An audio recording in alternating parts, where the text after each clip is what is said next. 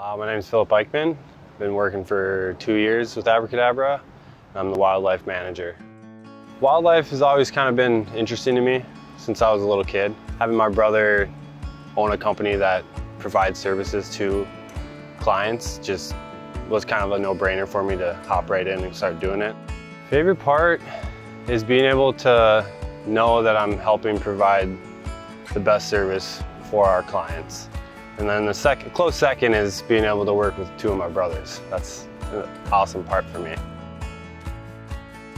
It's very important for especially a small business to get out there with the community because it shows we care about the people who care about us. I define customer service as providing the best service for a customer and giving them the best possible resolution to their problem. What motivates me to get out of bed every day is knowing that I'm going to be able to help somebody out with a problem that may be stressing them out on a very consistent basis. And also being able to show my son that hard work pays off and being able to come home to him every day is pretty much the best part of my day.